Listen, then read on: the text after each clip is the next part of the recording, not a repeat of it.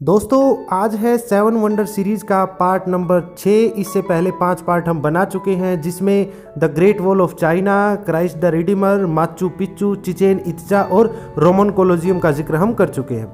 अगर ये वीडियो आपने नहीं देखे हैं तो इनका लिंक आपको डिस्क्रिप्शन में मिल जाएगा, जाके वीडियो ज़रूर देखिएगा। आज हम बात करने वाले हैं ताजमहल के बारे में। जानेंगे इससे जुड़े हुए दस इम्पोर्टेंट फैक्ट को। तो चलिए शुरू करते हैं। नमस्कार दोस्तों, मैं प्रवीण शर्मा और आप देख रहे हो आपका अपना YouTube channel simple Hindi fact को।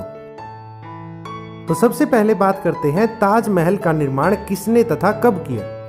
ताजमहल को शाहजहां ने अपनी पत्नी मुमताज़ महल की मृत्यु, जो 17 जून 1631 को हुई थी, उसकी कब्र को बनाने के लिए किया था। यह भारत के उत्तर प्रदेश राज्य के आगरा शहर में यमुना नदी के दक्षिणी किनारे पर स्थित है। जब उसकी पत्नी की मृत्यु हुई तो वो उसकी चौदहवीं संतान को जन्म दे रही थी, जिसका नाम गोहर बेगम था। ताजमहल का निर्माण 1632 में शुरू हुआ और इसका मकबरा 1643 में पूरा हो गया। जबकि आसपास की इमारतें और बगीचों को बनने में 10 साल का समय और लगा था। ताजमहल में मुमताज़ के साथ साथ शाहजहां का मकबरा भी स्थित है। और शाहजहां की अन्य पत्नियों, यहाँ तक कि उसके पसंदीदा नौकरों का मकबरा भी ताजमहल के बाहर मकबरों में दफनाया गया है।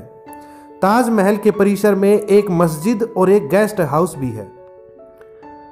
ताजमहल का निर्माण आर्किटेक्ट उस्ताज अहमद लाहौरी के मार्गदर्शन में बीस हज़ार से अधिक कारीगरों के द्वारा किया गया था। उस्ताज अहमद लाहौरी जो ताजमहल के मुख्य वास्तुकार थे वो भारत के नहीं थे, बल्कि ईरान के फारसी थे। इसके निर्माण सामग्री के परिवहन के लिए एक हज़ार से अधिक हाथियों का उपयोग किया गया था। ताजमहल को बनाने के लिए सामान अलग अलग जगह से मंगवाया गया था, जैसे कि सफ़ेद संगमरमर को मकराना राजस्थान से मंगवाया गया था। जैस्पर को पंजाब से, जेड और क्रिस्टल को चीन से, फिरोजा को तिब्बत से, लापिस लाजुली को अफ़गानिस्तान से, नीलम को श्रीलंका से और कारेलियन को अरब से लाया गया था। इसमें 28 प्रकार के कीमती और अर्ध कीमती पत्थरों को सफ़ेद संगमरमर में जड़ा हुआ था, जिनको ब्रिटिश सैनिकों ने अठारह सौ सत्तावन में सिपाही विद्रोह के दौरान ताजमहल की दीवारों से निकाल लिया था। निर्माण स्थल पर संगमरमर और सामग्रियों को ले जाने के लिए 15 किलोमीटर की दूरी पर टेम्पेड अर्थ रैंप बनाया गया था, जो कि 20-30 बैलों की टीम के द्वारा विशेष रूप से निर्मित वैगनों पर ब्लॉकों को खींचता था।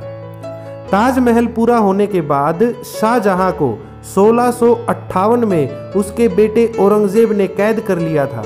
उसके बाद शाहजहां ने अपने अंतिम आठ वर्षों तक ताजमहल को अपनी खिड़की से ही देखा था। तो अब बात करते हैं इससे जुड़े हुए 10 इंपॉर्टेंट फैक्ट के बारे में।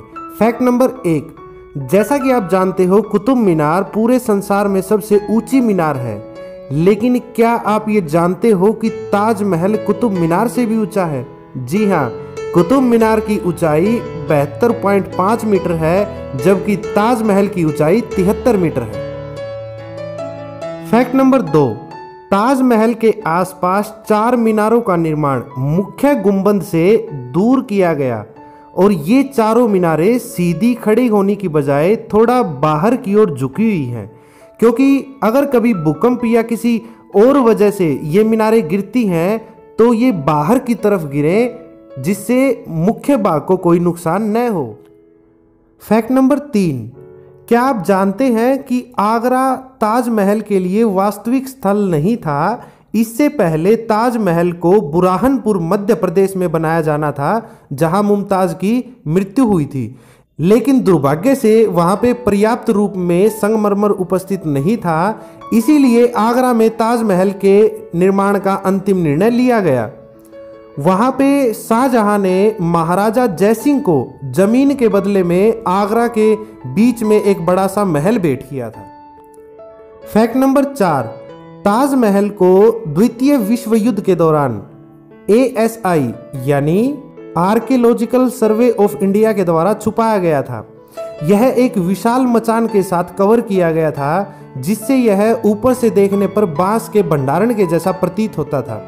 बाद में एक बार फिर इसे 1971 में भारत पाकिस्तान के युद्ध के दौरान छिपाया गया था। ऐसा इसलिए किया गया था ताकि दूसरे देशों की वायुसेना इसको पहचान कर नष्ट न कर दे। फैक्ट नंबर पाँच 2008 में एक बांग्लादेशी फ़िल्म निर्माता ने लगभग पाँच करोड़ साठ लाख अमेरिकी डॉलर की लागत से अपने बांग्लादेश में एक ताजमहल का निर्माण किया था।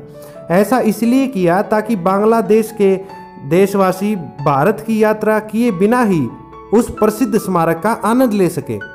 आधुनिक उपकरणों के साथ उन्होंने पाँच साल में ही ऐसा ताजमहल बना लिया था। फैक्ट नंबर छह आपने भी कभी न कभी ये ज़रूर सुना होगा कि शाहजहां ने ताजमहल के निर्माण करने के बाद कलाकारों और वास्तुकारों के हाथ काट दिए थे ताकि वे दोबारा कभी इस तरह का खूबसूरत कर्तव्य न दोहरा सके। आपको बता दूँ, ये महज एक मिथ्य है और अभी तक इस बात का कोई भी सबूत नहीं मिला है। फैक्ट नंबर सात, शाहजहां ताजमहल के सामने मेहताब गार्डन में एक काले रंग का दूसरा ताजमहल बनवाना चाहते थे, जो दिखने में एकदम हु बहू ताजमहल के जैसा हो। काला ताजमहल शाहजहां अपने मकबरे के लिए बनाना चाहते थे हालाँकि यह बात भी एक मिथ्य बन के ही रह गई है और अभी तक इस बात का कोई भी वास्तविक सबूत नहीं मिला है।